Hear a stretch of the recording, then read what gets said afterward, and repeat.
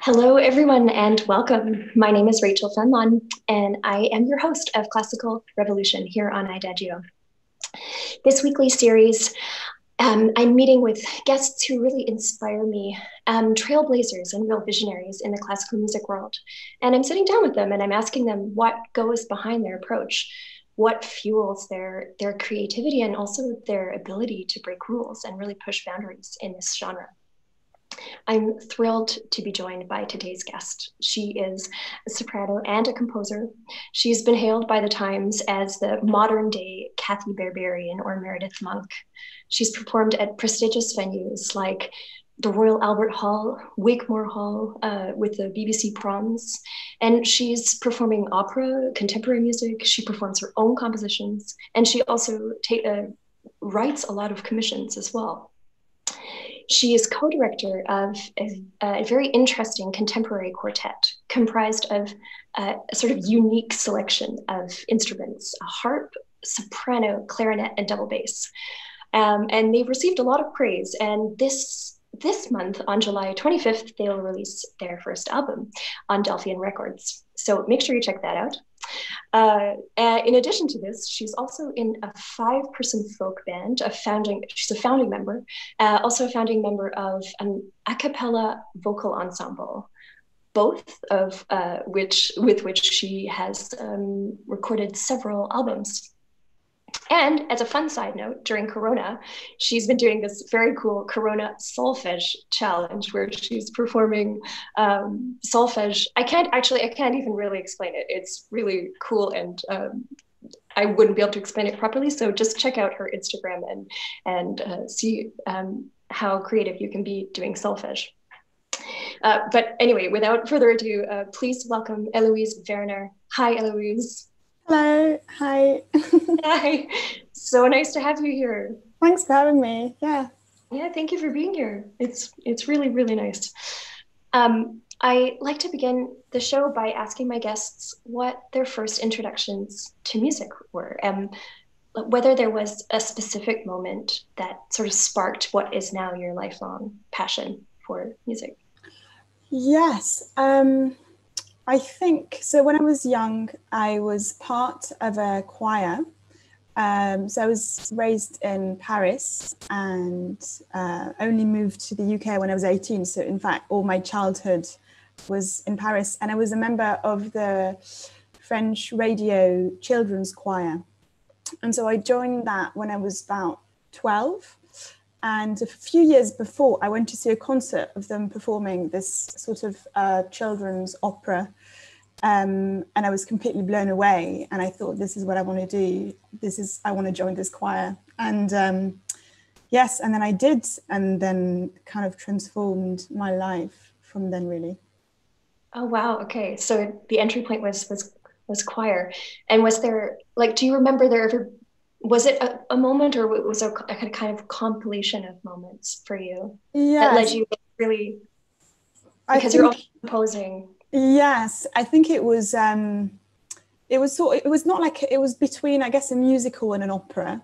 So um it's this french composer called julien joubert um, who writes really amazing beautiful nostalgic uh, music. And especially for children it's uh, with kind of children's voices that sing that music. It's very moving. And I remember a lot of the songs and the kind of um, when lots of voices sing together at the same time with different voices and like harmony. And um, I loved it. And I thought this is this is brilliant. This is what I want to do. But I was already playing the cello before, actually. Um, so it wasn't my first introduction introduction to music, I guess. But um, it was, I think, that moment when I thought, wow, this is this is really what I want to do. And also singing at, the, at that time, this is what I, I want to start singing more.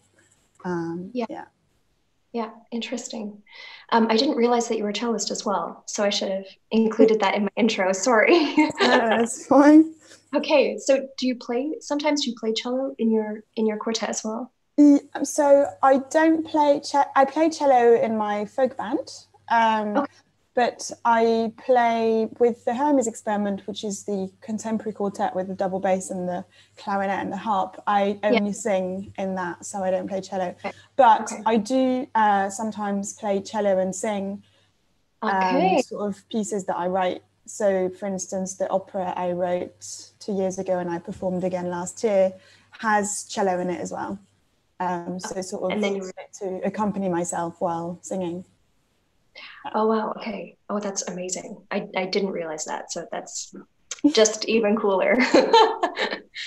um, Héloïse, you've like you've created such a singular path for yourself. It seems it's so unique. Um, it's and especially in the classical genre, it's really um, it's really special. And I'm so curious where that began, especially you know post maybe even post education, where that or or during education, but where that really began, where you started to sort of see all of, I imagine, see all the different things come together, or mm, I think I've, I've, always um, loved diff- lots of different things within music. So even though I joined this choir, um, and it was very special because essentially we had school in the morning and then choir every afternoon. So it was like a massive commitment, almost like a sort of music school, but with all the school in the morning and normal normal school um, and did sort of science and the sort of standard French curriculum. But um, so yeah, we had lots of kind of. It was very open in terms of the education we had, um, but I still did cello on the side and at the conservatoire. And I, since quite a young age, I wrote music as well, and I wrote music for the choir, and I wrote songs for me to sort of sing at the piano. And mm-hmm. so music for me has always been something that I I didn't think I was going to be one particular thing. Um, and even at the beginning, I guess cello was my first instrument, and I practiced a lot when I was a teenager, and I, you know, I got quite good. But I, I never really thought I just want to be a cellist. Um, mm-hmm. And so then I suppose that's why I moved abroad, um, because in France, you sort of it's quite difficult to actually not do just the one thing in music. Yeah. You know, they sort of say you have to go to a conservatoire and study this thing.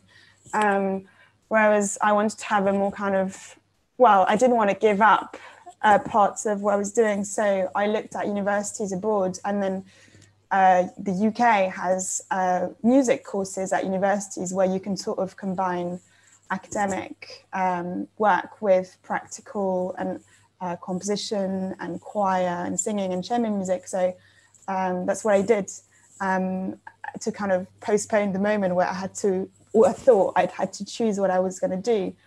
And then finished that and then moved to London and sort of kept doing that. um, yeah.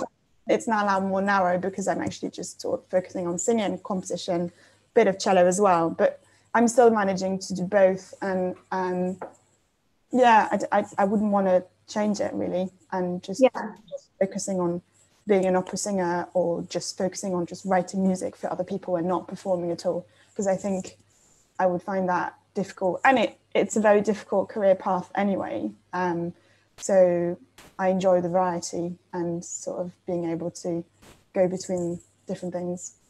Oh yeah, I mean, I think it's the ultimate, um, the ultimate way to experience to to be a classical musician because it's such a rich art form that um, the chance to get to explore it in so many different ways is actually a really great thing. It's just that it's not so common, right? But Mm. Um, no, it's amazing. Um, so I'm also multi instrumentalist, and so I, I, I, had this thought to ask you because my my path has, has, of course, it's it's been very different, but you know, along the way there was a lot of adversity for me where I would meet people and they would say, you know, you really can't be a singer and a pianist, and you have to decide, and especially really becoming um, professional. And I was wondering if you encountered that, or like what kind of um, adversity have you experienced or have you experienced any? And if so like how have you um, dealt with that yourself?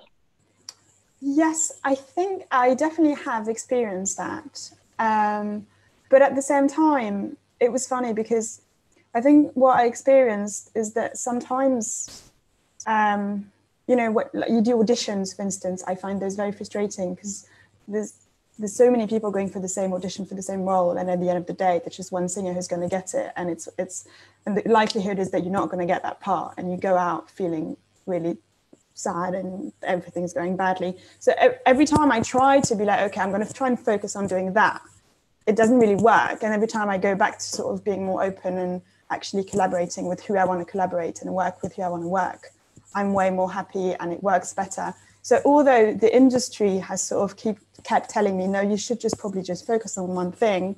Every time I tried to do that, it didn't seem to work for me. I sort of like hit oh. a wall a little bit. Um, so actually, very quickly, I just realized, well, that's not what I'm going to do.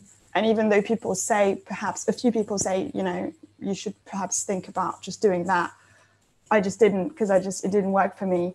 But actually, also more and more, I found that, and perhaps more in recent years, um, people actually in within the industry as well seem to uh, value the fact that I do different things and perhaps are more interested in working with me on projects because I've got this uh, network of people around me and I've worked in different sort of genres and different people.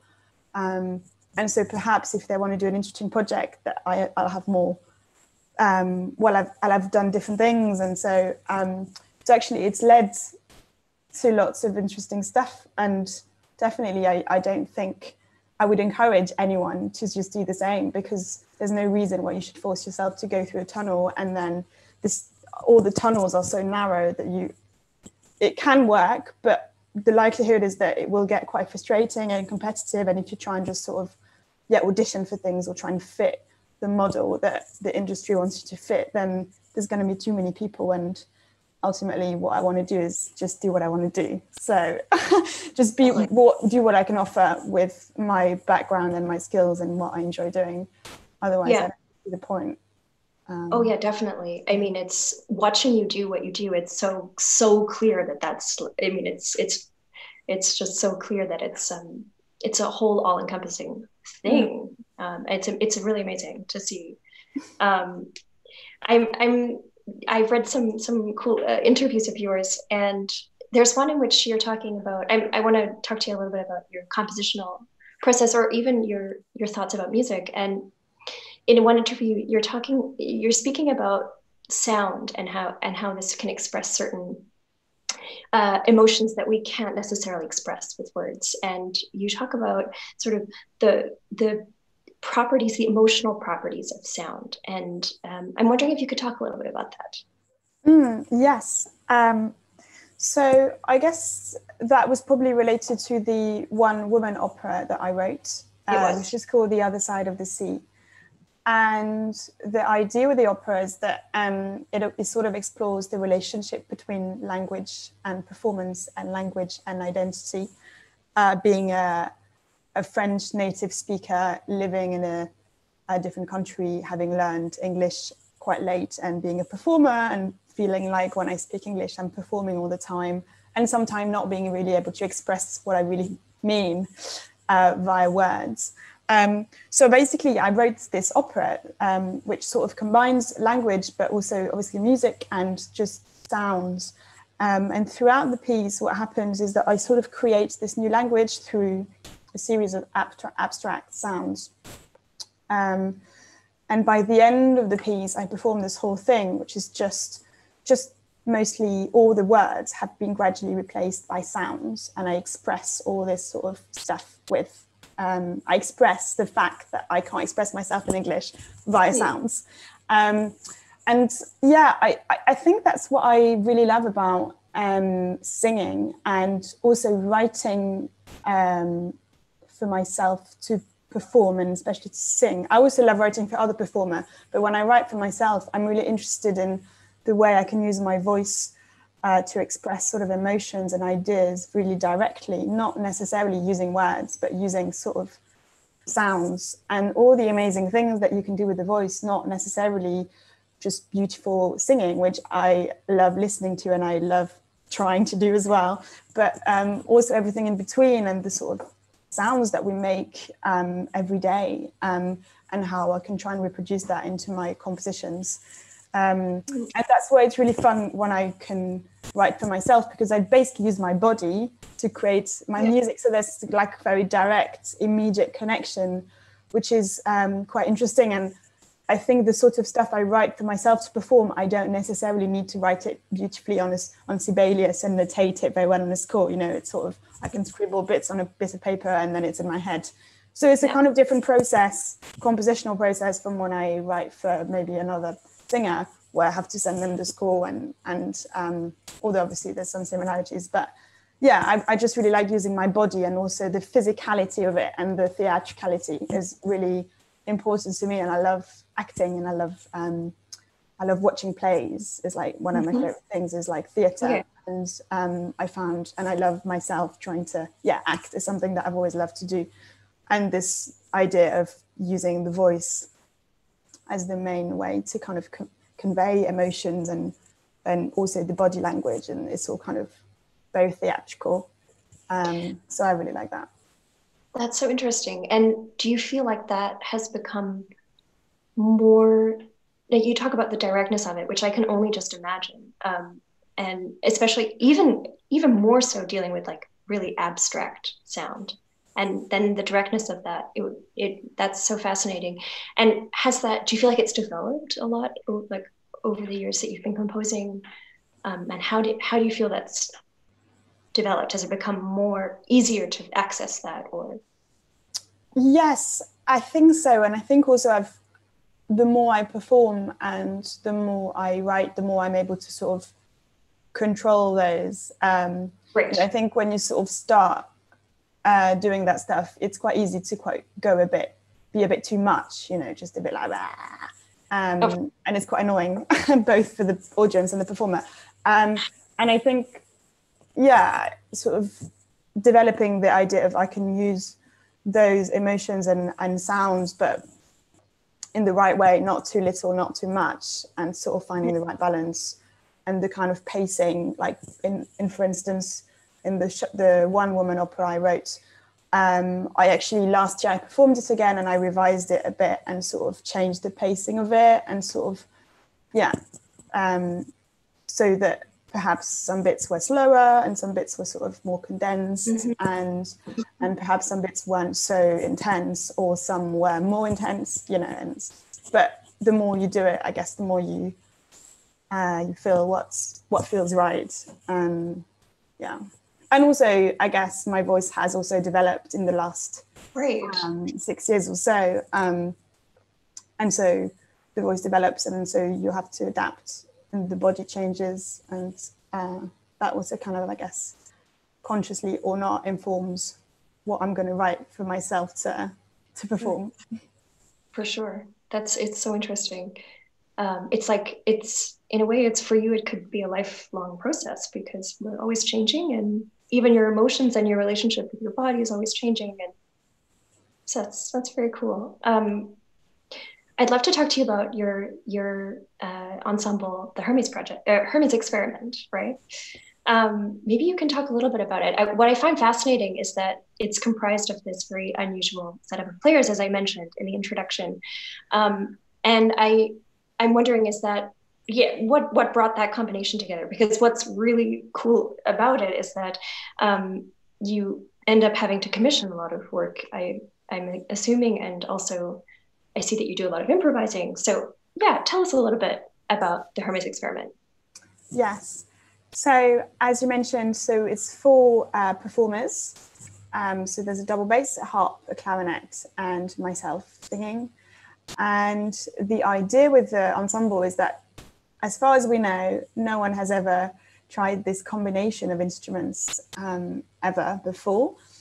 So there was no existing repertoire when we formed, and the idea is that we had to commission composers and write, um, sorry, and collaborate with composers closely to create this repertoire, and also perhaps um, arrange some existing works for a combination, or improvise slash perhaps devise our own material as well.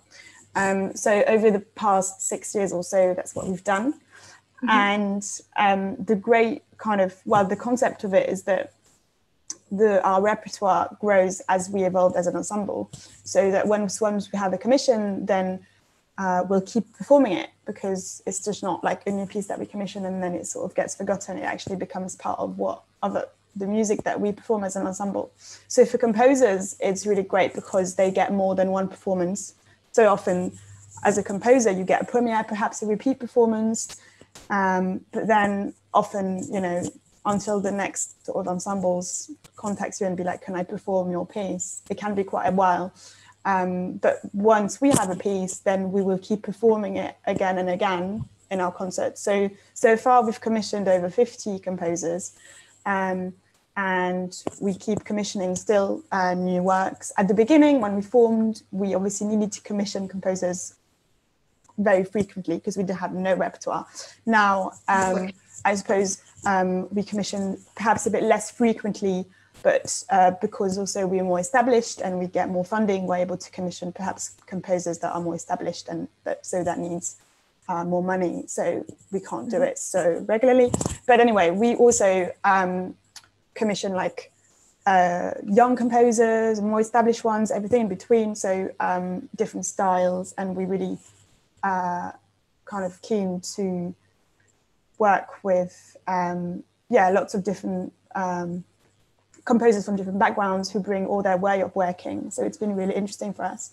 Um, and yeah, we've got our debut album coming out this month, and on there, um, it's basically um, nine of our commissions from uh, the past uh, six years. Uh, we've got so again uh, because of um, it's quite varied um, because of the nature of the composers. So hopefully there's something for everyone on there.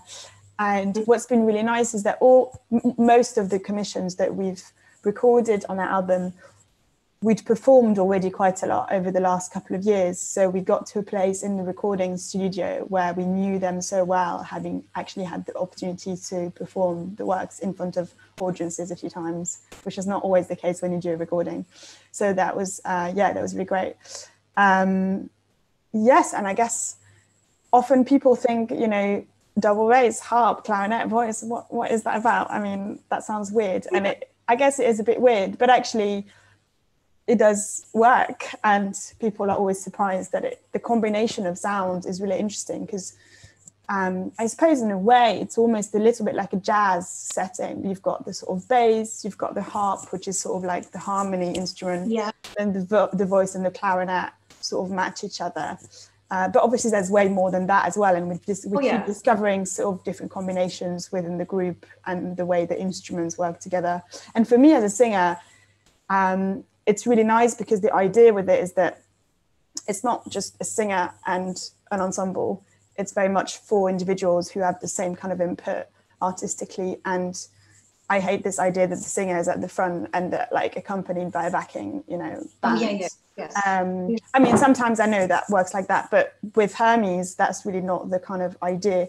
And even though most of the pieces have voice in it, all the instruments have got such a important part in the in the piece and often very theatrical part as well so everyone's kind of carries the narrative um, not just the singer which is something that i yeah that's really really nice and i'm really lucky to be able to do chamber music at that level with amazing instrumentalists because as a singer again it's not something that you necessarily have the opportunity to do so much with sort of three other instrumentalists. Exactly. um, uh, yeah. And and on that also on that level or like you talked about that volume of also contemporary uh, of new music as well it's not it's it's quite rare so it, that's fantastic.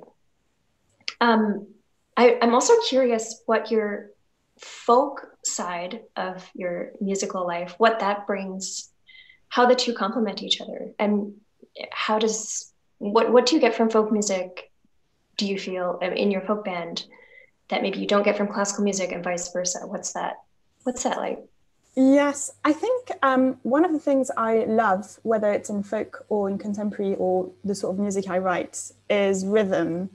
I'm kind of very, and in the Corona Solfège I do, it's kind of like rhythmic based. Um, and I get really excited by rhythm and complex rhythm and having a really good groove um, and kind of having the pulse really stable. And that's what I love about the folk band or in Hermes, we all very rhythmic, rhythmically really tied together. Um, and we kind of feel the music in the same way. So there's never kind of yeah, we never have to discuss that. It's it's really sort of, and that's really important for me to work with people who kind of feel rhythm in the same way. And in the folk band, what's really fun, I guess, is obviously um, most of the time we don't use uh, music in a concert, um, and you know that's, I guess, it's sort of like, of course, in classical music you don't always use music, um, kind of scores music either, but the kind of band idea can be also quite liberating in terms of not having a stand and a music stand and it's more just about the feel of it and even the mu- even if the musical level is really mm-hmm. high and the rhythm and tuning is also also super detailed but i guess there's it's more about um yeah there's in a way like the focus is really the music and there's nothing in between to kind of uh, makes you a bit paranoid that oh i'm going to do that wrong um, and it's really fun and it's really baiting. And in the stuff that we do with the folk band, yeah, it's like rhythm is really important.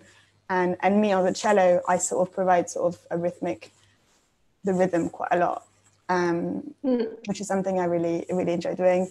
Um, but also in terms of the singing style, I mean that's something that I've um, sometimes found a bit difficult because obviously if you sing because uh, yeah in the folk band we all sing so we all take turns but i do also sing quite a few of the songs. And obviously you don't sing in the same way if you sing a folk tune than if you sing um, more kind of operatic or contemporary work. Um, and in if you sing uh, in the folk band most likely you might use a microphone. If you sing uh, in classical setting there wouldn't be a microphone and it, you wouldn't sing in the same way in a microphone than in not a microphone um, so sometimes that's a bit uh, interesting to, I mean, I really like it, but sometimes it's a bit stressful to be like, oh, I can't actually like sing full on in the microphone because it's just going to go mental. Um, and, um, but then it, it just makes you sort of, yeah, it's, it's different approach. And I enjoy exploring different styles of singing. Um, yeah. And also seeing kind of you know folk concerts or, or bands versus a, cl- a, contemporary music concert or, or classical music concert um, i really I, I, like that in a kind of perhaps not classical concert the vibe generally is a bit more chilled out and perhaps the performer always talks to the audience or often sort of makes a few jokes and um, and sometimes in the yeah. classical music concerts it's also the case but sometimes it can be a bit sort of conservative and, and sort of a bit stressful, uh, which can be good in some ways, but also so I, I like kind of exploring different, see what's you know what's happening, and then finding what I like and and sort of mixing it all up in in the way that I do. But in Hermes, for instance, we always um, talk to the audience, and one of our big things is that we sort of almost like spoken program notes, especially as some of the works that we do are perhaps a bit challenging at first because they are contemporary, so a bit atonal and a bit wacky and weird. Um, it's really important, I think, to give the audience a chance to sort of guide them through it a little bit, um, explaining kind of the origin of the work and what the words mean, and perhaps explaining some of the techniques that we use, etc., so they can really connect with uh, the work. And that's something that I think audiences always enjoy. Um, so that's yeah. that, that's really interesting. So you're giving them an, an, a real entry point into it, especially with contemporary music. It's so important because um, there's we don't always have the context. You know, we we have the luxury of having the context of Mozart or Beethoven, but um, with with contemporary music, that can sometimes be really hard for an audience. I, I also going back on what you said, I, I find that really interesting about how your folk your folk world and your folk this folk side of you how how it doesn't just um, interplay between your voice and between like musically um, but also just that experience as a performer and how they really lend that's just that's so interesting. I've never thought about that before. Um, and yeah i mean yeah then it, then it of course then it brings up the subject of like i mean how, how do you feel about or is it necessary to be so conservative uh, in the classical world as as musicians you know when we're doing a song recital or what have you? How do you feel about that? Yes i think i mean it's a tricky question and i guess it depends um, on the context. And i wouldn't say that i don't enjoy going to a fairly traditional song recital, uh, seeing amazing performers deliver like beautiful, you know, song cycle by Schubert or Schumann, and you know they can be wearing like beautiful I don't know, like quite conservative clothes and not move, and there's the yeah. piano, but but they can still deliver amazingly the text and the way that both the pianist and the singer collaborate, like work together, yeah. and it can be really really powerful.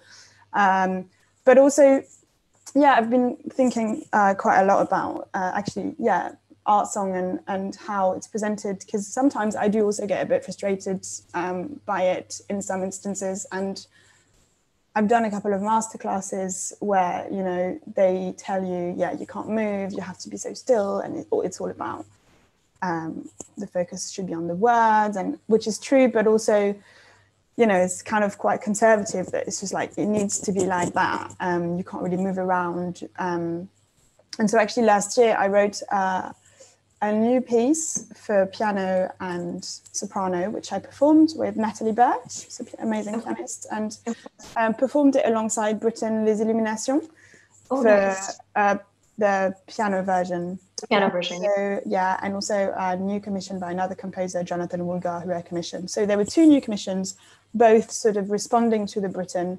And the idea with the commissions, and especially my piece, that is actually how to explore how theatrical can you be still in a song recital and how mm-hmm. um, how can you push the boundaries further? And is it possible to escape the sort of stressy song recital vibe and feel because I, I it also came from me as a performer always finding quite uncomfortable in that situation as a performer. And perhaps i'm just not very good at it but i just yeah i i, oh, I, I don't think you're alone in that. And uh, sort of no. Yeah, and sometimes you know the pianist being kind of quite hidden, you can't really see them, and the singer still being sort of more in front. Um, and there's something like in the relationship and um, and how to it's involve. Unnatural about it. it. I mean, I'm speaking as someone who accompanies myself on the piano, but it because it always felt very unnatural to just be in front of the piano. But I mean, that's another story. But yeah. I completely understand. And then, of course, there's the question of the audience because. Um, I, I don't know. How, uh, I know so many people who go to these recitals and they are also feel constricted. They can feel those constrictions because, of course, they can feel what what we're feeling as well. Yeah, and um, and so in the piece I wrote is a ten minute uh, piece, and it's a setting of Rimbaud's poetry as well, which um, was also the yeah. Britten is setting of. So it's a setting of some other bits of um,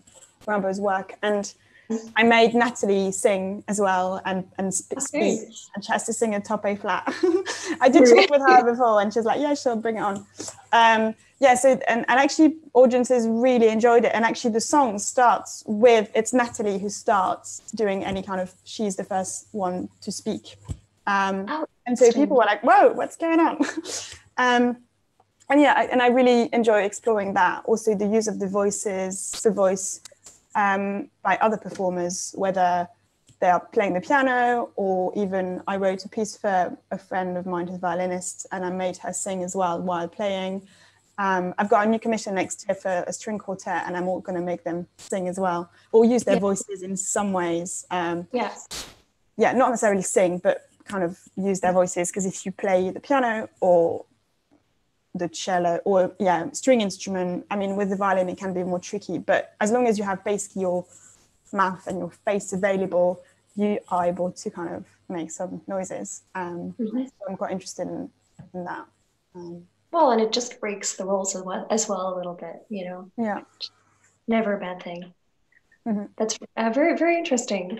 Um, well, we're almost out of time, and I definitely want to make sure that I ask you the question that I always close with. Um, hence the hence the title of the series, Classical Revolution. Um, how how do you feel music can be revolutionary, or when have you experienced music to revolutionary? Or do you feel that? It's like it's just one of those questions where you can say anything so. Yeah it's uh, it's really tricky. I mean i feel like and perhaps it's um as i said earlier i'm, I'm really attracted to theatrical works and theatre um, and i love watching plays and often i find i go and see a play and almost every time, like especially a new play, I'm completely mesmerized. Like it's it's I'm like this is amazing. I've never seen anything like it, you know. And I think in theater, it's so this, this yeah forward thinking and like the, the, the stuff I see makes me think so much for so long. And with concert, with classical music concerts, that happens way less often. I sometimes go to a concert and it's, it's nice, but often I'm, it feels like it doesn't, it doesn't challenge me so much. Um, uh, whether it's, yeah, kind of thinking about social issues or like political issues. And of course, perhaps it's because like if you watch a play, of course, they can use words and that you can make a statement more easily with I don't know, what using words. But there's also something about music which I think can have such a powerful kind of political and, and social message, which um, obviously has been done in the past so much. But in classical music at the moment, I, I, I find sometimes going to something and it's nice, but it doesn't really challenge me in that way. And I would love for it to challenge me more. Um, and I, I, I, guess the times where it does, it tends to be perhaps because there's a more theatrical aspect to it. Um, um, there's a, a British uh, composer called Phil Venables who writes uh, yeah. really amazing sort of um, music theatre, really. So he writes operas, but they're, they're, not just traditional operas. They really kind of blend theatre and, and music in a kind of very linked and visceral way. Um, and I've seen both of his uh, recent operas, and every time that makes me think so much, and I get so moved, and it's so visceral. Um, and it's not just because there are words, of course, that's part of it, but it's also the music is so integral to those kind of stories that he's telling. Um, and I guess in the work I do, that's sort of what I try to do when, when I said, you know, like using sound um, in a very direct way to kind of move people and, and make people think and have an impact. Um, I performed um, the first solo show I performed was written by another composer, but we, Jonathan Woolgar again, but we worked quite very closely on it. Um, and it was about grief and sort of how to make people talk about death more openly. And, and the use of the music was, was very much like, yeah, very visceral and very direct. And, um, and for me, yeah, that's really important that there, there's this sort of um, quite strong message uh, underlying the kind of musical material.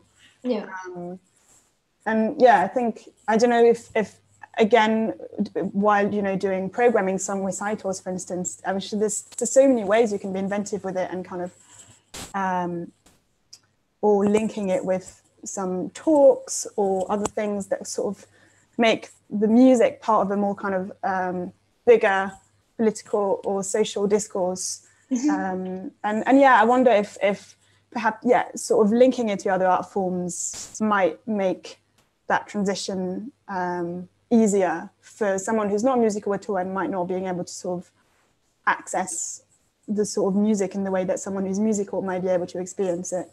Um, so yeah, or without or without as we see so much now without musical education. I mean, because that's that's just becoming like more rare, not and, and simply just because of the schools. But so um, no, that's very interesting. And also it's interesting to think that I like what you said about grief because that's also, you know, that's also revolutionary. The fact that sound can um, embody grief is, I mean, that that could change someone's life, you know. So yeah, yeah. And I guess also thinking about what's happening now and what what's going to happen next. You know, it's sort of no one really knows, but um, yeah, there's a sense that things need to change somehow. Um, and it's, it's, I mean, I have no idea what's going to happen and we don't know, but um, I'm still hopeful that it, it, will. I mean, we need music.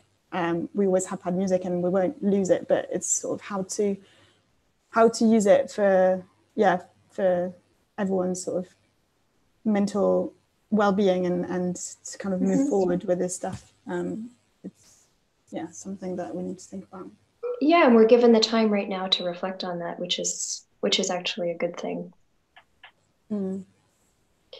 um, it's been such a pleasure chatting with you Héloïse thank you so much for for coming on the show um, and i just wanted to say to everyone watching make sure that you check out Héloïse's playlist because she's got some amazing um, composers on there from Caroline Shaw to Meredith Monk and Bach and Schumann, and it's it's really it's really wonderful. So definitely make sure you check that out.